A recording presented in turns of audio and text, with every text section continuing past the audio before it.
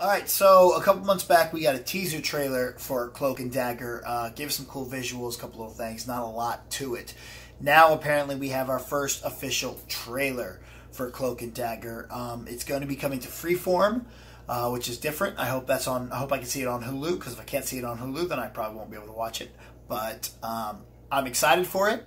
Uh, definitely excited for it, given the uh, Easter eggs in Jessica Jones for it, because you know in Jessica Jones, she said cloak and dagger like twice in a three minute span. Um, there's got to be a reason for that. There's no way they just said it just to say it.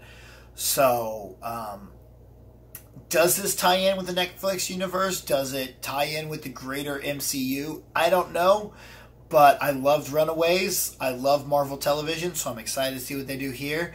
And uh, let's go ahead and uh, check out this trailer and let's uh, get it going.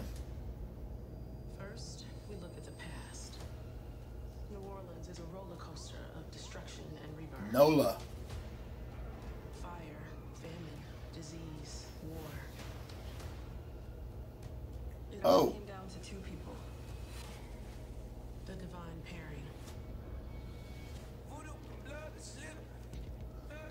Yo, that's dark. I feel like I have to be perfect. Like I have to do everything right. Hey. Okay. I run away from everything. I've had a lot of things taken from me. And everything I have, I've had to steal. There's something about fear that pushes me. As my whole life. Whenever anything goes wrong, I hightail it out of town. Okay.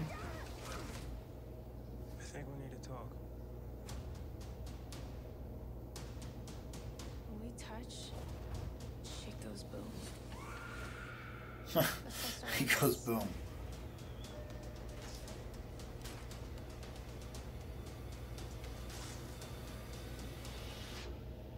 It's the same as it was Oh. all the others. One She cute. And one will die. Oh, that's not good. keeps pushing us together. The universe keeps pulling us apart.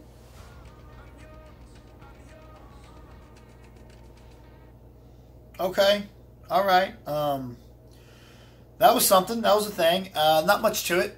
Uh, still, I mean, eh, TV shows trailers are a little bit different than most things. So, um, I'm excited to see see the show though. I can't wait to see what happens with it. I like the I like the leads. They both both look very talented. They both look really cool.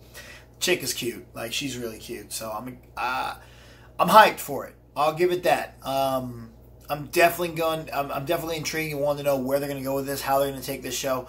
Are we? Is there going to be tie-ins to the MCU? Uh, given the trailer, doesn't really show us much uh, that will tie us into the MCU, if anything at all.